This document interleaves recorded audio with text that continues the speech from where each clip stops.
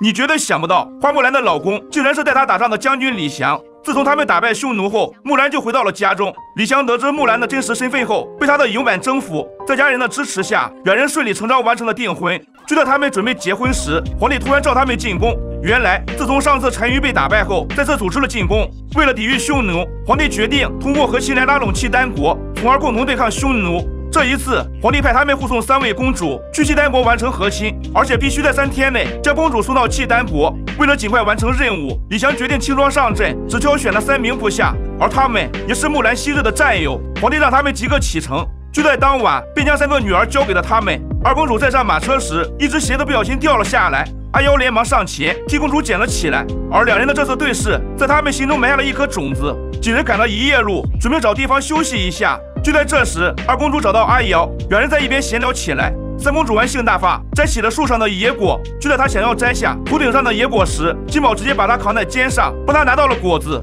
另一边，木兰和李翔正在钓鱼，可是没想到木须竟然对李翔使坏，让他在木兰面前出丑。不仅如此，木须为李翔设置各种陷阱，把他搞得措手不及。而木须做的这一切，就是为了破坏两人的感情。原来，如果木兰和李翔结婚，那木须就不能再当木兰的保护神，所以他想尽一切办法，就是要拆散两人。木须随意扔出的棍子，不小心打到了固定马车的石头，马车顺着下坡快速滑动，眼看就快冲向悬崖。木兰和李翔及时出现，危急时刻，李翔扔出一根绳子，想要拦住马车，但下坡的惯性太大，他们根本刹不住车。最终，他们全都掉进了水里。为了尽快护送公主到达契丹国，找到了一条捷径。但中途会经过一个强盗山头，可万万没想到，这三位公主竟然跟侍卫一起游山玩水，并且相互产生了感情。就在几人还沉浸在幸福中时，花木兰突然出现，打断了他们的约会。但木兰并没有阻止他们交往，反而还为他们高兴。就在这时，李翔突然赶到，士兵们见状，赶紧跟公主保持距离。看着自己的士兵跟公主走到了一起，李翔非常愤怒，不准再跟他们说话。但花木兰觉得所有人都有选择的权利，公主也不是任何人的傀儡。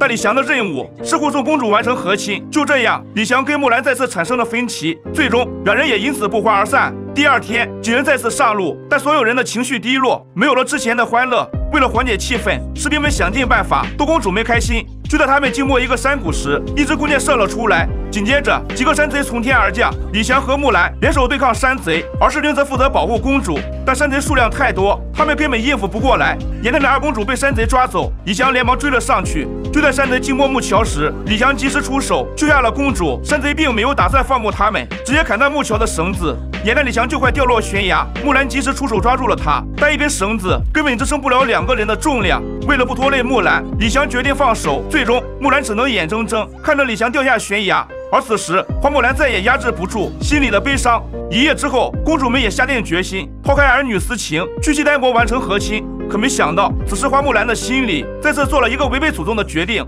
你绝对想不到，替父从军的花木兰竟然嫁给了契丹国的王子。就在三天前，皇帝让花木兰和李翔负责护送三位公主去契丹国和亲。可没想到，三位公主竟然爱上了士兵，而李翔也在对抗山贼时掉下了悬崖。万念俱灰的花木兰决定成全三位公主，自己去跟契丹国王子和亲。花木兰战胜匈奴的事迹，契丹国王早就有所耳闻。让这样一位巾帼英雄嫁给自己的儿子，肯定会让契丹国士气大涨。可万万没想到，契丹国王子竟然嫌弃起了木兰。他好老哦。而另一边，李翔的战马在一条河边找到了他。李翔一刻不敢停留，直接就往契丹国出发。而他在路上正好遇到三个公主和士兵。得知自己的妻子就快嫁给契丹王子，李翔再次加快了脚步。此时的花木兰已经换上了礼服，出现在契丹国百姓面前。在国王的主持下，百姓们兴奋地欢呼起来。但此时的花木兰心里却没有一点高兴。突然，一只飞镖射了出来，李翔也出现在他们面前。看到这一幕，木兰连忙跑了过去。你要跟谁成亲呢？国王怒了，李翔竟敢在大庭广众下抢走他的儿媳妇。国王叫来士兵，把李翔抓了起来。就在几人拉扯时，一团火焰阻止了他们。哟，这里这么乱，在干什么？看到这一幕，所有人都慌了，他们以为是神仙显灵，纷纷跪在了地上。而此时，只有花木兰知道是木须在后面搞鬼。木须藏在神像的嘴里，宣布两人原地结婚。国王也以为是神仙显灵，成全了木兰和李翔。就这样，木须在众目睽睽之下操控了这场婚姻。最终，有情人终成眷属，而士兵和公主也收获了他们的爱情。电影至此结束。我是云上，我们下期再见。